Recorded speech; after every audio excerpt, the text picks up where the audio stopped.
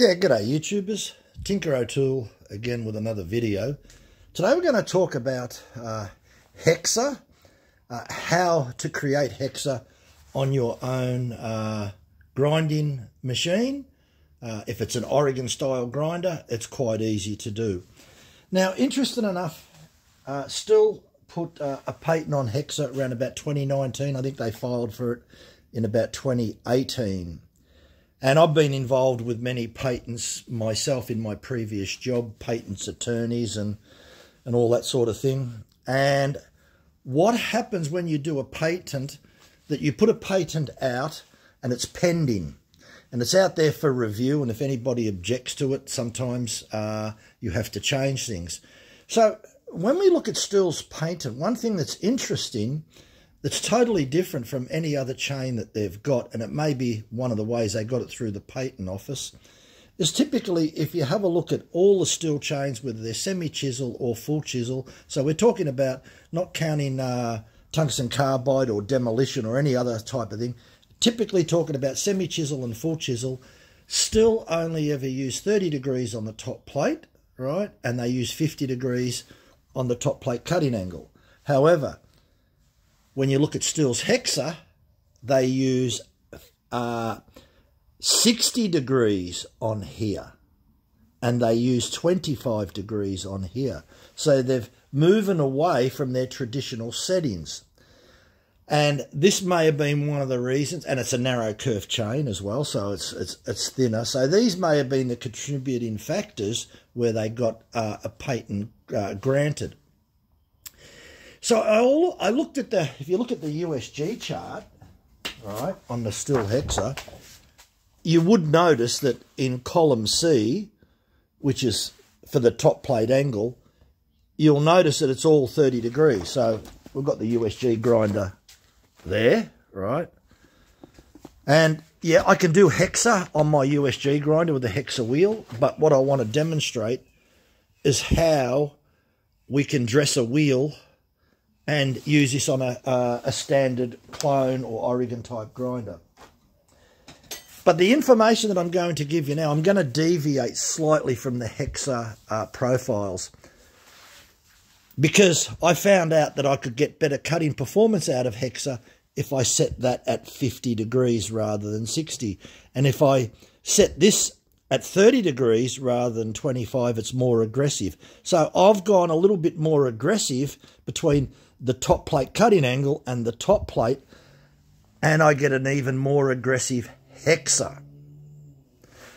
So that's another interesting factor. And as I said, most likely they deviated from the 30 degrees here and the 50 degrees here, maybe to pass the patent. I'm not 100% sure, but what I do know that when you do have a patent, you need something unique, something different than everything else because you can't get a patent uh, if something is similar. So for them to deviate away from their traditional angles, they're probably saying in their patent that, hey, look, these angles and the angle coming in and the angle going down and the narrow kerf is what makes Hexa work really well. Now, the other thing is, if you do put this at 25 degrees, it'll be a little bit more durable right? 25 degrees is a little bit more durable. I do find out that 50 degrees is more aggressive and it works really good. So that's the angles that I'm going to stick with. But what I will do is show you the standard way of setting up your grinding wheel for Hexa. And one thing that I will mention that's really critical that when you put your wheel on, because what you have to do is dress 60 degrees this side of the wheel and 60 degrees on that side. So it's going to your wheel's going to look like a V shape. If you've got any wheel run out, then your center line will be all over the place. So the first thing when you do put your wheel on, make sure that if when you do spin it by hand like that, make sure that if you do have a little bit of wheel run out, which most likely you will, I haven't seen uh, one of these grinders that doesn't have some sort of wheel run out, you need to loosen the bolt and put the wheel in a different position. You may have to do that five or six times. If that fails and you can't get a really good uh, center line so you've got no wheel run out, a lot of times I'll put a little thin cardboard gasket behind here. And because the stone doesn't compress, whereas the cardboard will compress, so it's just a matter of undoing the side nut, moving this around in a few positions until you get the wheel that's really true. When you've got the wheel that's really true and you've eliminated all your wheel run out as best as possible, then it's time to dress the wheel. So what we'll do now is we'll dress the wheel.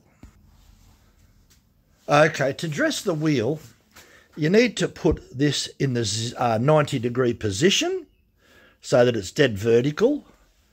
We need to put the top plate angle at zero. You need to make a little plastic wedge. This is just a little plastic wedge. I've got one made out of stainless steel, but I thought for the users out there, I just got a little bit of a garbage lid and just cut the plastic. Look, it's probably about one and a half millimeters thick. You don't want it too thick, otherwise it won't fit in the groove of the bar. Now, this is a 60 degree angle or 30 degree angle, depends which way you look at it, but uh, it's interesting when you look at angles. Depends what you're using as a zero reference point. But anyway, it's 60 degrees. Now, what you need to do is put the backstop all the way back. This will sit on the bottom. I will push that in back a little bit more.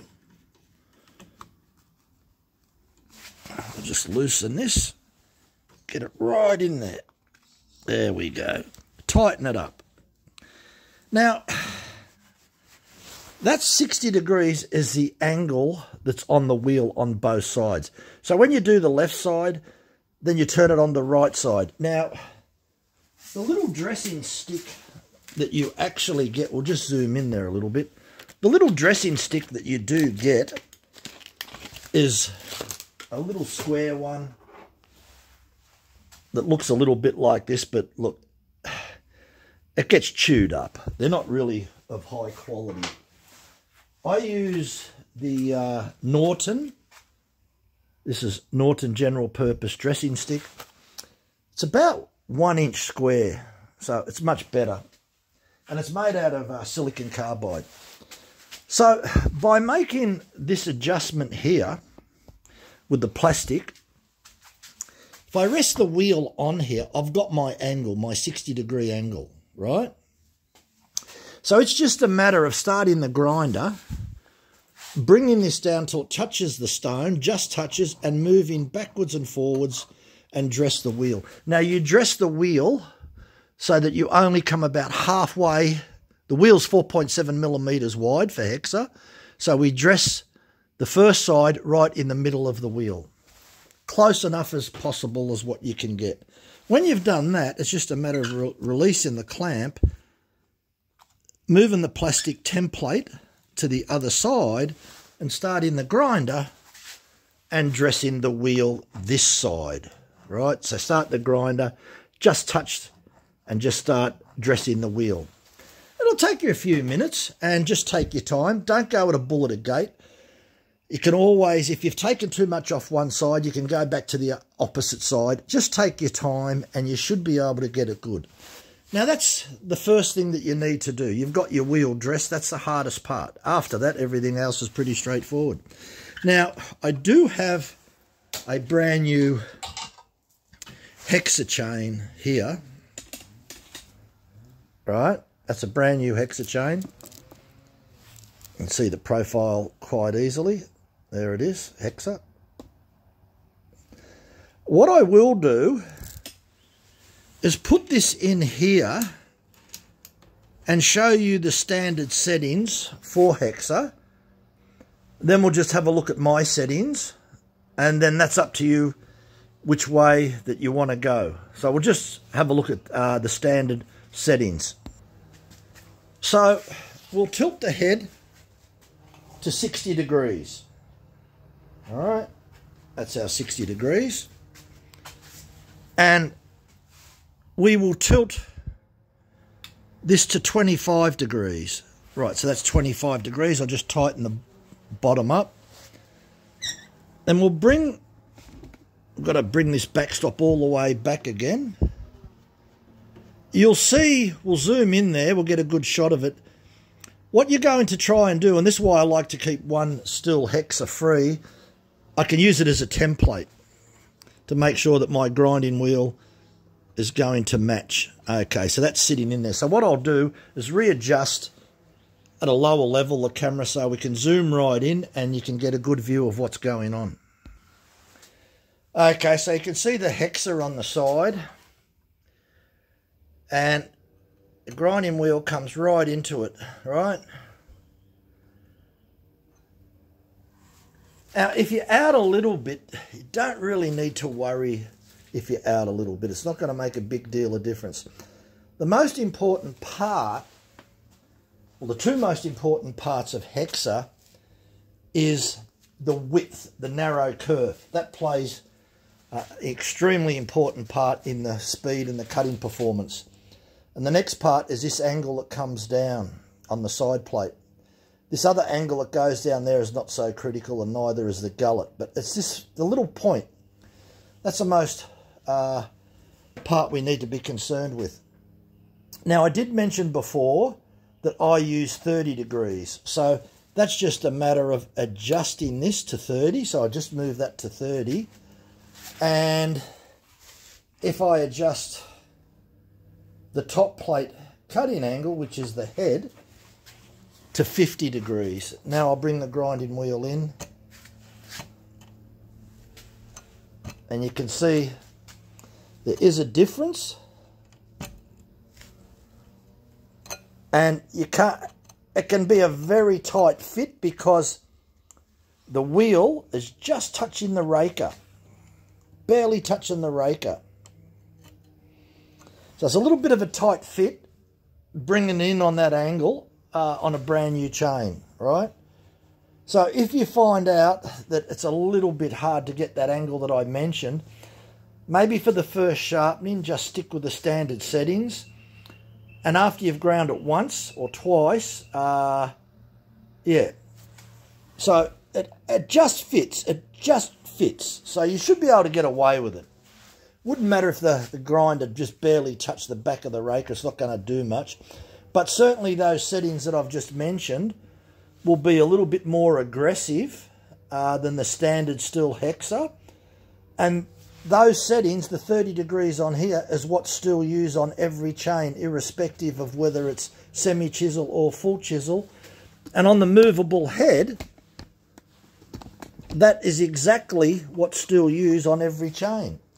50 degrees. right? So I'm using the same angles as what they use on their semi chisel or any other full chisel. So I'm just using those angles on the Hexa and you'll find out that it will cut even better. I hope that information helps. Uh, look, look in the description. I'll put some uh, other information in the description and that can be beneficial as well. Anyway, thanks for watching. Uh, bye for now.